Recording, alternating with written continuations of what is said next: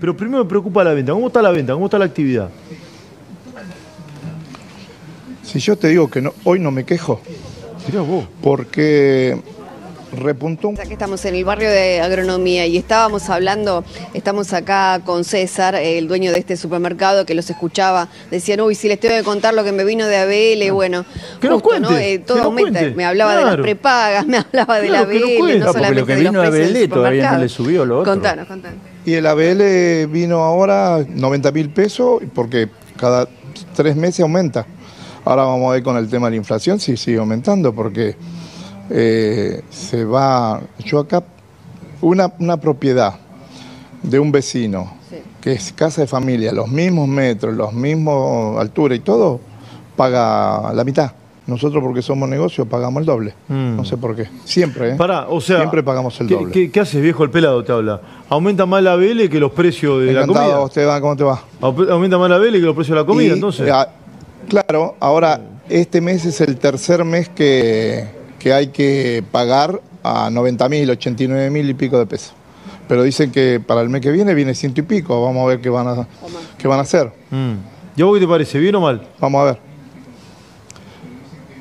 A ver, eh, esto suma todo con el incremento de la luz, que acá hace dos meses pagábamos 400 mil pesos, ahora pagamos 1.600.000 este, y no sé lo que va a pasar este, este mes, porque todavía no vino, vence el 24, 25, pero una locura. Vos imaginate que tengo el sueldo de, de tres empleados, yo abro la persiana y tengo que poner 150 mil pesos.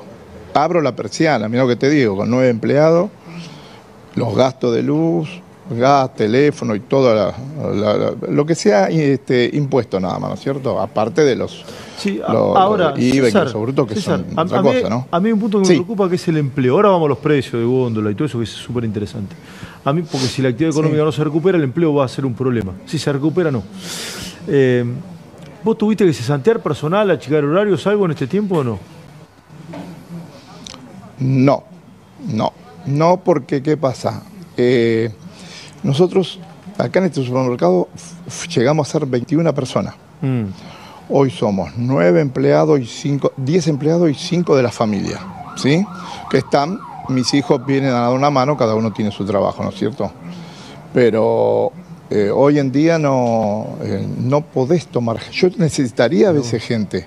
Yo hace muy poco, gracias a los canales, conseguí gente, porque ya te digo, tengo, eh, ponele, Pero para- pusimos para- aviso, para- no venía nadie. ¿No conseguís... ¿Cómo, cómo? Vos ponías aviso Sí. para que vaya gente a trabajar y no iba nadie. No ven nadie, pero nadie, nadie, ni a preguntarme cuánto pagaba, nada. O sea, vos Eh, ofreciste laburo hagamos durante... una empresa para, para, esto es brutal. boomerang, perdona. Vos ofreciste, Pero- vos ofreciste laburo durante ¿Eh? cuánto tiempo? Tres meses, Tres meses. ¿Laburo de qué? ¿Cajero, repositor, qué? Carnicero, verdulero, repositor. En tres Y meses. tuve, ¿Cuándo fue esto? Llegué- llegamos- ¿Cuándo, sí. fue esto? hace tres meses, Hace tres meses. hace, de- en diciembre, Mm. diciembre, ¿Y cuánta gente entró a, a- Diciembre, enero. con el currículum? dos personas. Dos. Y si yo te digo la persona que entró, entraron dos. Una de las personas tiene 72 años. Mirá vos. Esteban. ¿Sí? Carnicero. No hay, no hay, no hay. Venían un carnicero porque ¿qué pasa? Eh, tuvimos dos o tres canales que nos dieron una mano y me dejó pasar el, el- el aviso, ¿no? A ver si podía conseguir por eso. Cortamos el, el, eh, día ese, al otro día me llamaron 400. Ahora, ¿Pero César, ¿de dónde? De yo- Mar del Plata, de Ushuaia, Claro. le dimos agronomía. Sí. Claro, ahora César, yo veo en las marchas que toda la gente dice que no hay laburo. En las marchas, viste, los piqueteros y dicen no hay laburo. Bueno, ese es otro tema que yo no me voy a meter porque la otra vez hablé, estaba otra gente y a la terminé de hablar, a la hora me vinieron dos inspecciones. Mirá vos. Hacer un relevamiento de, de extranjeros, te lo juro por mi nieto. Menos mal los chicos están anotados, están registrados hace muchos años que ¿Cómo viven. en relevamiento de extranjeros? A ver, ilustrame porque me pierdo. ¿Cómo relevamiento de extranjeros? Sí. Claro, vinieron a tomar los datos a ver si tenía gente extranjera trabajando, como se pensaban lo mejor que éramos chinos o algo por el estilo. En los supermercados toman gente eh, hay gente extranjera, hay venezolanos, hay peruanos. ¿cuál es Y, y, y vinieron a hacer un relevamiento a ver si estaban, este, si tenían documentación. Y a los que parecían importados también le tomaron los documentos. Y a los que eran medio rubio no. Pero bueno, eso fue porque yo dije algo este, en el momento ese y... Sí, sí, fue así. Che, ¿y, ahora- es incre- y- y ahora Pero bueno. conseguiste gente para que labure o no? ¿O seguís sin conseguir? Sí, sí, sí, sí, sí, sí, tengo. Tengo, tengo. Ah, ¿ocupaste? Eh, Entró, ya te digo, entró este señor. Ah, sí, sí, sí. ah contrataste. dos- pará, pará, pará. Contrataste al viejo de 72, viejo, con cariño lo digo. Fenómeno, ¿lo contrataste? Sí, lo- sí, sí. Mira, Un fenómeno, el viejo. un fenómeno. Sí, ¿Cómo sí. labura? Sí, de de- de 10, carnicero es. Lástima que no podemos llegar al fondo Mirá porque no, no tenemos señal, ¿no? 72. ¿Qué? Ese Pero, tipo, ese eh, tipo mamó la cultura del laburo. Eh, este hombre trabajó desde los seis años, Mirá vos. ¿sí? Y, y, bueno, se quedó sin, sin ¿Querés que lo vaya a buscar? Sí, Está, está solo en la carnicería ahora. Ah, no puede venir de la carnicería. Ah. Está bien. Al fondo la carnicería, por eso. ¿no? Está, está muy atrás. Este, ¿Y cómo es? Y me llamó por teléfono y digo, ¿cuándo puede venir? Mañana. Y vino y al otro día empezó a trabajar. Y no vino nadie. ¿Sabe qué pasa? Aparte otra cosa.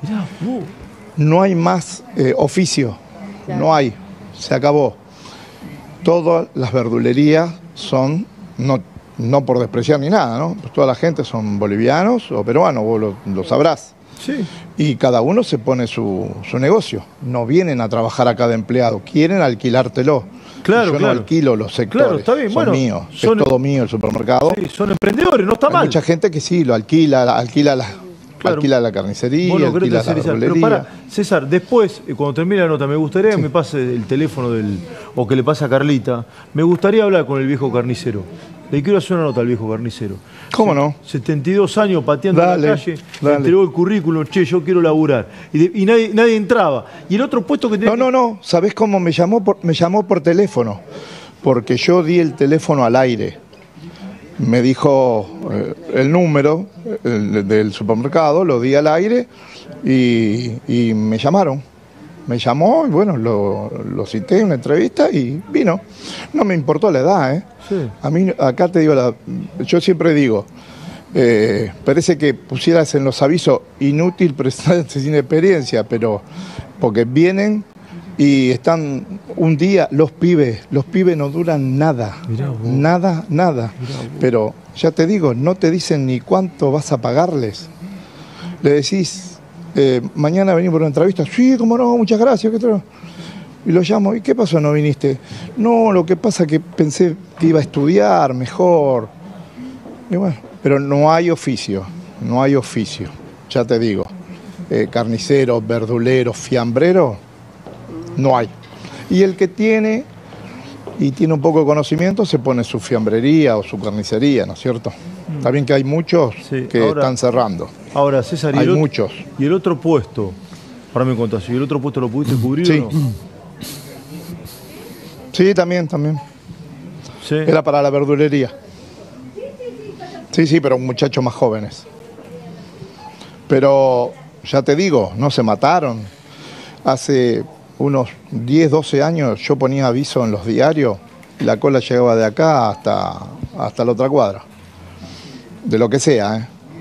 Hoy no pasan ni por la puerta y nosotros encima contratamos unas empresas que tienen base de datos este, que vos pagás mensual y te dan una cantidad de datos. ¿Sabés lo que te dan? Sí. Gente que está muerta, gente, gente, sí, ahí llamé a más de una casa y dice, no, mi marido murió hace 20 años, mirá de cuando tienen la base de datos. Y te cobran como si fuera algo de, de ayer a la mañana. Mira vos. Es decir, es difícil conseguir Pero mano de obra en así, Argentina. Es difícil conseguir mano de obra. Sí, sí, sí, sí. Y vos ponerle, yo he tenido eh, empleados de 15 años, 20 años, 30 años y los sigo teniendo. ¿eh? Tengo empleados de muchos años acá en la empresa. Muchos años. Sí, eh, Y no tengo empleados nuevos, nada más que estos dos. ¿Qué pasó? Lamentablemente, los dos puestos lo dejaron por fallecimiento. No porque se fueron. Falleció el carnicero y falleció el verdulero, que era este, que había estado mucho tiempo, ¿no es cierto? Y uno se fue a, a San Juan a vivir porque acá ya no, no le daba mala situación. Tenía que pagar alquiler y se fue con una Sí. familia a San Juan, sí. ¿Cómo están los, la venta? Los precios, me entiendo, me vas a decir que deben estar medio quietos. Ahora vamos. Pero primero me preocupa la venta. ¿Cómo está la venta? ¿Cómo está la actividad? Si yo te digo que no- hoy no me quejo, porque repuntó un poquito, tuvimos que hacer un montón de cosas que antes no hacíamos. Eh, tuvimos que negociar con muchos bancos. Antes yo tenía una cuenta corriente, hoy tengo cuatro. ¿Pero por qué? Porque pudimos eh, conseguir eh, descuentos en distintas, distintos bancos, ¿no? Distintas, distintas marcas de banco, que los lunes y martes tienen un 30%, los miércoles un 25%, los jueves, sábado y domingo, todos los días hay descuento, ¿me entendés? Mm. Entonces eso... Y eso te mueve. Lo que pasa es que no vemos el efectivo. Claro. Claro, pero todo tarjeta. Todo tarjeta. Y pues, ¿Querés que se pero va a re- dentro de todo... Sí, no te que quejar, hacer-. Por último y cortito, ¿crees que se va a recuperar el tema o no? Yo creo que sí. Sos un fenómeno. Gracias de ¿Cómo verdad. no? Gracias por tu tiempo.